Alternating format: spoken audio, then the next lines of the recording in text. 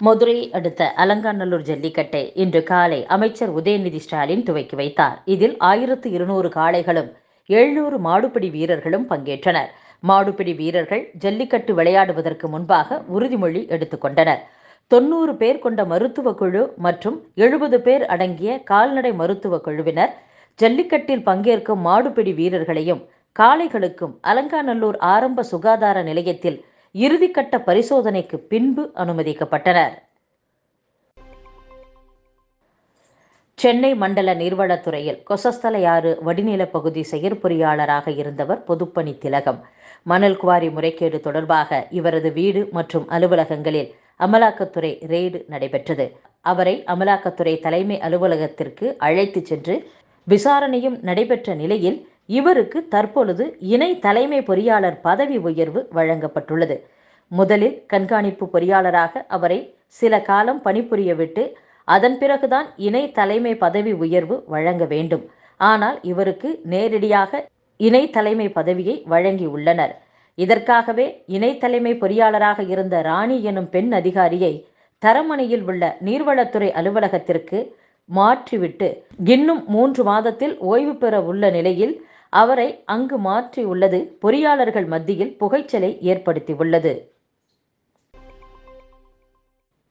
கோவையின் இதய பகுதியான ரேஸ்கோஸ் பகுதியில் பிரபல விஞ்ஞானி ஜிடி நாயுடு பெயரில் தெரு உள்ளது. அதன் நுழைவாயில் பகுதியில் ஜிடி நாயுடு தெரு என்ற பெயர் பலகையை மாநகராட்சி நிர்வாகம் வைத்துள்ளது. அதில் இருந்த நாயுடு என்ற வார்த்தையின் மீது திமுக பிரமுகரும் சினிமா இயக்குனருமான ரேஸ்கோஸ் ரகுநாத் என்பவர் திடீரென மைப்பூசி அழித்தார். இந்த செயலுக்கு கடும் எதிர்ப்பு கிளம்பியது.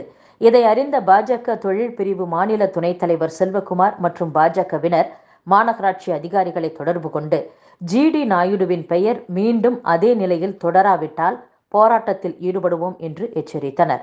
அதைத் தொடர்ந்து மாநகராட்சி அதிகாரிகள் ஜிடி நாயுடு என்ற முழு பெயருடன் உள்ள பெயர் பலகையை அந்த இடத்தில் வைத்தனர். சென்னை அனகாபத்தூர் இயற்கை நார் நெசவு குழுமம் சார்பில் அயோத்தி ராமர் கோவிலுக்கு இருபது அடி நீளத்தில் வாழை நார் புடவை பிரத்யேகமாக தயார் செய்யப்பட்டு அனுப்பப்பட்டுள்ளது.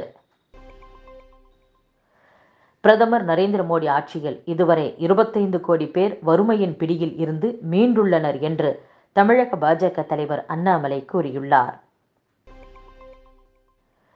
காவி உடை அணிந்த திருவள்ளுவர் படத்துடன் தமிழக ஆளுநர் ஆர் என் ரவி திருவள்ளுவர் தின வாழ்த்து செய்தி வெளியிட்டதை தொடர்ந்து திமுக அரசுக்கும் ஆளுநருக்கும் இடையே மீண்டும் மோதல் வெடித்துள்ளது.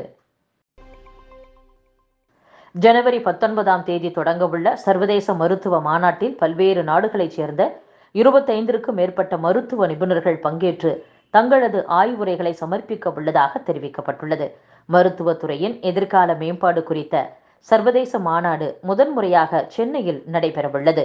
ஜனவரி பத்தொன்பதாம் தேதி முதல் இருபத்தி ஓராம் தேதி வரை மூன்று நாட்கள் நடைபெறும் நிகழ்வில் சமூகத்தில் எதிர்காலத்தில் அச்சுறுத்தலாக விளங்கும் நோய் தொற்றுகள் குறித்தும் அவற்றை எதிர்கொள்வதற்கான வழிமுறைகள் குறித்தும் விரிவாக விவாதிக்கப்பட உள்ளது அதிராம்பட்டினத்தில் உள்ள இமாம் ஷாபி பள்ளி வளாகத்தை கைப்பற்றும் முடிவை நகராட்சி நிர்வாகம் திரும்பப் பெற வேண்டும் என்று நாம் தமிழர் கட்சியின் தலைமை ஒருங்கிணைப்பாளர் சீமான் தெரிவித்துள்ளார். தஞ்சாவூர் மாவட்டம் அதிராம்பட்டினத்தில் அரை நூற்றாண்டாக இமாம் ஷாபி பள்ளி கல்வி பணியில் ஈடுபட்டு வருகிறது. இந்த பள்ளியை மூட வேண்டும் என நகராட்சி நிர்வாகம் முத்திரையிட்டுள்ளது. இமாம் ஷாபி பள்ளி தொடர்பான வழக்கு நீதிமன்றத்தில் நிலுவையில் உள்ளது. இந்நிலையில் அந்த கல்வி நிலையத்தின் பெயர் பலகையை ஜேசிபி இயந்திரம் கொண்டு அகற்றப்பட்டுள்ளது. இந்த பள்ளி வளாகத்தை கைப்பற்றும் முடிவை நகராட்சி நிர்வாகம் திரும்பப் பெற வேண்டும் என்றும் சீமான் தெரிவித்துள்ளார். திருவள்ளுவரை யாரும் கரைப்படுத்த முடியாது என்று முதலமைச்சர் மு ஸ்டாலின் கூறியுள்ளார். தமிழினத்தில் பிறந்து அமிழ் தமிழில் அறம் உரைத்து உலகம் முழுமைக்குமான நெறிகள் சொன்ன வான்புகழ் வள்ளுவர் நாள் வாழ்த்துக்கள்.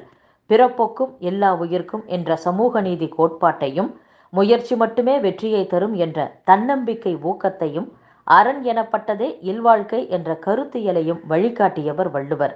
நூற்று முப்பத்து மூன்று அடியில் சிலையும் தலைநகரில் கோட்டமும் அமைத்து போற்றும் குரலோவிய தமிழகத்தில் வள்ளுவரை யாரும் கரைப்படுத்த முடியாது என்றும் முதலமைச்சர் மு ஸ்டாலின் பதிவிட்டுள்ளார். தெலுங்கானா முன்னாள் முதலமைச்சர் சந்திரசேகர ராவின் மகளும் பாரத ராஷ்டிர சமிதி சட்ட மேலவை உறுப்பினருமான கவிதா அமலாக்கத்துறையின் விசாரணைக்கு ஆஜராகாமல் தவிர்த்துள்ளார். இந்தியாவில் கடந்த ஒன்பது ஆண்டுகளில் இருபத்தி நான்கு புள்ளி எட்டு கோடி பேர் வறுமையில் இருந்து மீண்டுள்ளதாக நிதி ஆயோக் கூறியுள்ளது.